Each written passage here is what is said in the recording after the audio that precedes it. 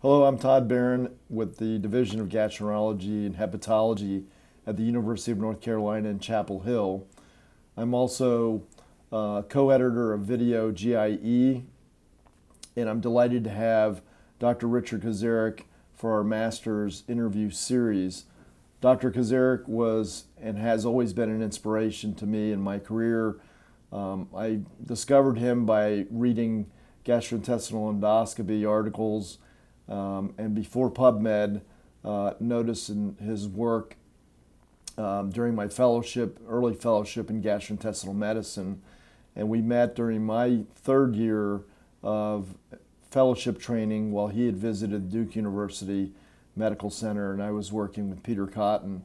And we've um, had a great relationship since then. Dick has been a mentor to me and an inspiration and an advisor both personally and professionally. Um, so it's an honor to have him talk to us today about his uh, career and how he got to where he is. So thank you, Todd. Thank you for being here today.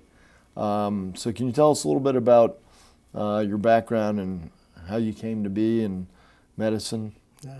I grew up in a small town in the Midwest in Wisconsin. Um, uh, it was about 5,000 people, still probably about 5,000 people. Um, poor farming at the time. It was the edge of the glaciated area, but cranberries came in, and cranberries are king in that area right now. So I have um, six brothers and sisters. Uh, I came from a medical family. My father was a family physician. Uh, my mother was a medical technologist. Um, I've got two brothers who are physicians another one is a geologist, three sisters who are nurses. It took me a while to realize I was from both a medical and a sexist family and simultaneously. Um, I had a high school class of about 200 people, very small. Um, went to the University of Wisconsin for eight years. I was a philosophy major, mm. and um, it was during tumultuous times uh, was during the Vietnam War, and we had National Guard on campus for three of our semesters. Um, uh, some of the players in that uh, stole an ROTC uh, plane and bombed the campus oh. from an ROTC plane. Uh, the math building was um, destroyed by a fertilizer bomb. Wow killing uh, uh, some one of the investigators who was there late at night. Mm. So uh, tumultuous uh, time on campus. Um, I also went to medical school at University of Wisconsin in Madison, and uh, I spent the first three years uh, on campus, and then the fourth year I was all over the place. I spent time at the Alaska Native Medical Center in Anchorage. Um, I spent time in Tuskegee, Alabama, um, delivering babies and working in the emergency room every mm. other night. And then I uh, spent time in Bluefield, Princeton, West Virginia, and time in um, a small rural town in in Wisconsin. So um, at that time, I thought I was going to be a primary care doctor, and I got lots of experience all over the all over the uh, country, if you will. Um, I could not stand the fact that the match was going to tell me where I was going to go. And so when I was in um, Alaska, I was coming back on the train, and I met somebody who said, oh, if you like Alaska, you'll love Nova Scotia, you'll love Newfoundland, and I didn't know where they, either one of them were.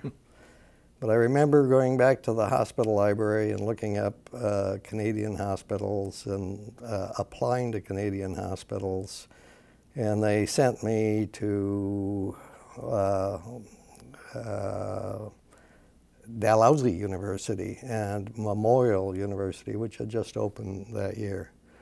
And so uh, I actually went to Dalhousie, which was in Halifax, uh, Nova Scotia, for my first year. Newly married. Um, and w- w- at that time, we didn't know whether we could drive to it or we had to fly to it. and, uh, but it was a, a great year. I then spent time at, uh, in Arizona. I was in Arizona for 10 years. I completed my internal medicine. Um, I did my GI uh, fellowship, and I knew at the end of my GI fellowship uh, that I was incomplete. Because all this stuff with therapeutic endoscopy, it was just starting. It wasn't, uh, when I started, um, we took out colon polyps and we dilated esophaguses and we made homemade stents because you could not buy an esophageal stent mm. and shoved them down somebody's throat, like shoving your foot down somebody's throat to place a stent. Um, and ERCP was really in its infancy. Um, endoscopic sphincterotomy was just getting started. And so all this stuff that we take for granted now treatment of GI bleeding, treatment of common bile duct stones, of pancreatic disorders, the up access to the small bowel, all this stuff that we take for granted now didn't exist. And so I knew it, when I uh, finished my training, I was incomplete. So I stayed in Phoenix for five more years and instead of a trainee, I was now associate chief of gastroenterology mm-hmm. at the Phoenix VA, meaning there were two faculty instead of one. and I was there for, um, I was there until uh, 1983, and I've been in Seattle at Virginia Mason Medical Center ever since, the last 35 years. Right. And going back to the to the Phoenix. It was uh, Bob Sanowski, right? Was your Bob Sanowski, and yes, and uh, it, again, uh, there was not uh, when sphincterotomy got started. I did it for the whole state. Wow. Um, when TPN got started, I did it for the whole wow. state because yeah. it just it was all new and all unique right. and. Um, I'm not sure I could do uh, total parenteral nutrition anymore. it's all been, it, has gone to the pharmacies and it's gone to specialized nursing and what have you. But um, yeah, Bob Sanowski, um, when I rotated onto Bob's service, his fellow, um, father died, uh, and he, the fellow went and shut down the farm in Iowa. So the first day I got there, I had a 32 bed ward to run. Wow. And Bob tried to teach me endoscopy and colonoscopy, and he would slap my hands if I was using two hands. And I, oh, it was the worst two months of my life. However, um, when it came time for additional training, I stayed with Bob, who became a, a dear friend and um, a mentor for for years. He's your grandfather. Metaphorically speaking. Metaphorically speaking, right. that's correct. So what, what, what exactly drew you to uh, Seattle and Virginia Mason? Did you get a phone call or you applied or how did that work? Yeah. Um, my wife was never a desert rat. She, well, she loved the water. She wanted to be someplace um, with uh, water. Um, I looked, uh, I had looked at one time of uh, training in Seattle, and I went there during one of these crisp, beautiful April days, and the mountains are out, and you, there's the water, and it's just, it's gorgeous when the sun is out and the hook went, and uh, I brought my wife back two weeks later, and it was drizzling like it does uh, 180 days of the year, and uh, you could almost see fish swimming by. It was it was that gray, and my wife said, "This is it. This is the So she was, she was uh, struck with that. And at the time that I joined the clinic, uh, the GI department uh, was not strong. They had no um, endoscopy unit. They had 10 uh, gastroenterologists, but only a few who did um, endoscopy. There was one person who did ERCP. And um, I thought, here's a clinic of four to 500 people, and uh, why isn't it like other big clinics? They ought to be, we ought to be able to develop gastroenterology, which in fact we've done over the years. We now have 30 gastroenterologists and um, six therapeutic endoscopists for a, a discipline that didn't exist uh, when I first got there. Right. So, so um, over the years, have you reflected, I guess, on what your greatest contributions to endoscopy or, or GI medicine in general have been? Yeah, um, I've I've done a few things. I um, poked a hole through the back wall of the stomach um, to drain uh, pseudocysts. I believe I was probably the first person mm -hmm. to mm-hmm. do that. I uh, got a lot of grief when I pre presented it because I was told nobody in Europe or Asia is doing that. Um, but it, uh, it, the thought came when I endoscoped somebody who had a transgastric uh, pseudocyst drainage where you could endoscope that person and pluck that percutaneous tube like a banjo string. Mm. And I thought, this doesn't make any sense. Mm. Uh, why go through the anterior abdominal wall, the anterior rectus sheath, the parietal peritoneum, the stomach, two ways, and then get into the, uh, the lesser sac when you can do it just by uh, poking a hole. And of course, uh, EUS came along, and what was um, a guess at where fluid collection was is became a definitive uh, way to, to be able to do that. So I, I think um, that was one of the first um, therapeutic procedures where we were col coloring outside of the lines, mm -hmm. where we said the integrity of the GI tract is not um, completely important right. here as long as you control whatever hole you put uh, into that GI tract. Now Jeff Ponsky did that from the front with a uh, percutaneous uh, gastrostomy mm -hmm. too. So that was um, that was a big thing, and um, it's had legs. It's uh, where it's been um, adapted all over the world with variations on a on a theme. Mm -hmm.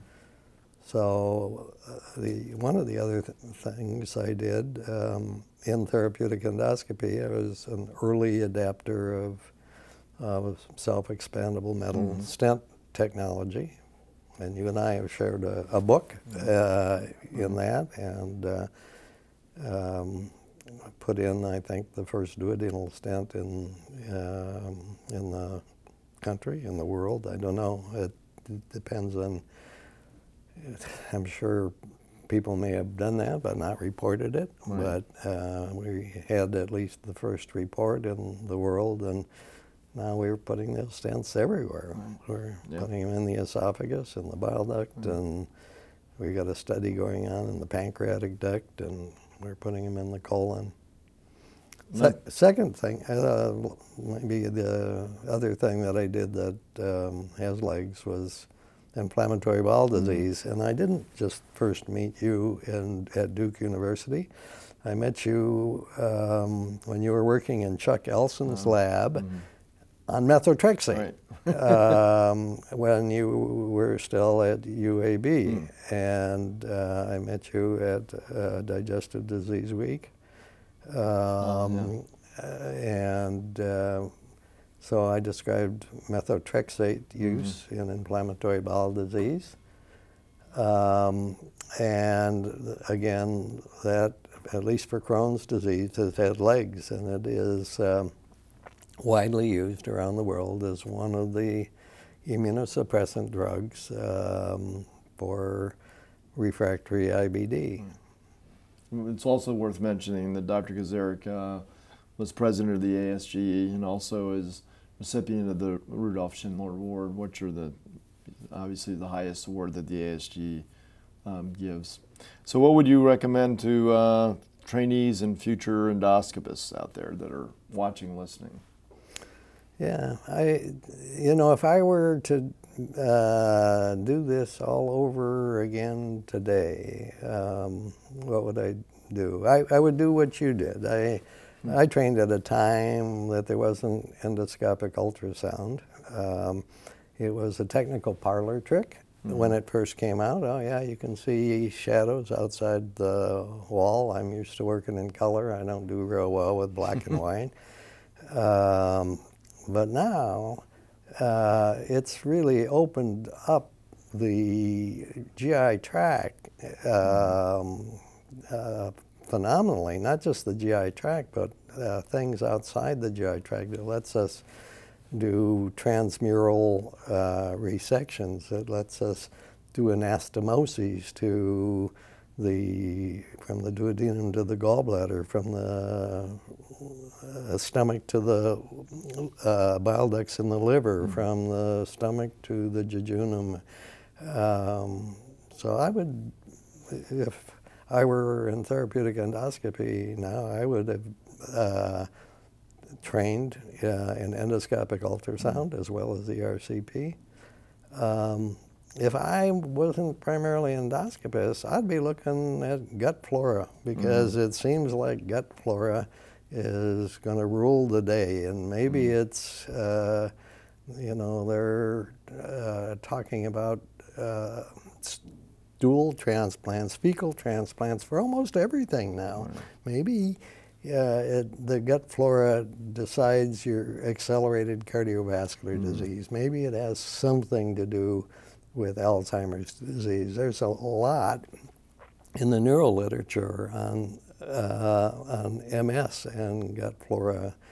So it's a, um, not only in the GI tract where they're looking at it in IBS patients and inflammatory bowel disease patients and using fecal transplant um, to try to treat ulcerative colitis at least, if not, uh, if not Crohn's that would be one area that I would look at. Yeah.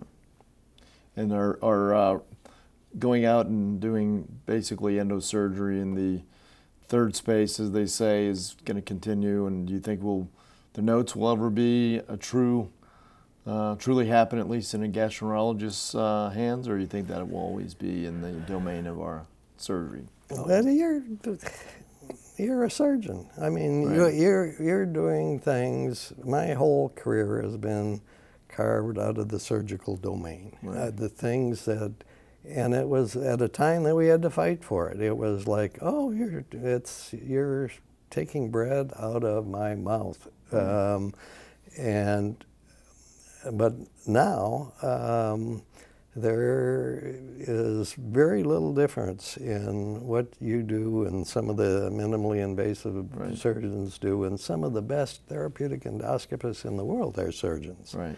And so uh, I don't know about notes. I, I uh, that to me kind of came and went, but what it did do is it brought uh, um, on a whole lot of technological innovation and, and advances. Um, and I thought Notes was uh, was here to stay. A decade ago, I thought we could do gastrojejunostomy by just poking a hole through the mm -hmm. stomach and bringing up a loop of jejunum and sewing it to the lesser curvature or greater curvature of the stomach or anterior wall of the stomach you can do it easier and right, quicker right. with, with ultrasound with uh, EUS. So um, I think with whatever um, is most cost effective, whatever is safest for the patient, whichever is quickest is going to be the winner. I don't think that's notes right, Right. now. Well, thanks so much. We're going to wrap it up. And again, it's a pleasure having you here, and thank you for all that you've done for me over the years, both personally and professionally. And um, and thank you. It's a mutual thing, Todd. Okay. Thank you.